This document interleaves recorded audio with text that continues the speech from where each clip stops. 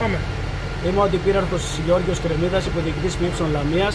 Πριν από περίπου μισή ώρα ειδοποιηθήκαμε για πυρκαγιά σε διαμέρισμα δευτέρου ορόφου ε, πίσω από το θερινό Δημοτικό Θέατρο της Λαμίας.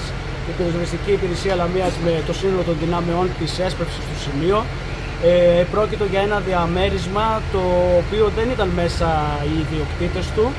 Ε, η φωτιά εκδηλώθηκε από μια πρώτη ματιά που έριξα προφανώς στο χώρο της κουζίνας. Τα αίτια θα τα ερευνήσει το ανακριτικό τμήμα της υπηρεσίας μας. Δεν κινδύνευσαν χάρη στην άμεση επέμβαση της υπηρεσίας μας, δεν κινδύνευσαν γειτονικές κατοικίες ή ανθρώπινη ζωή.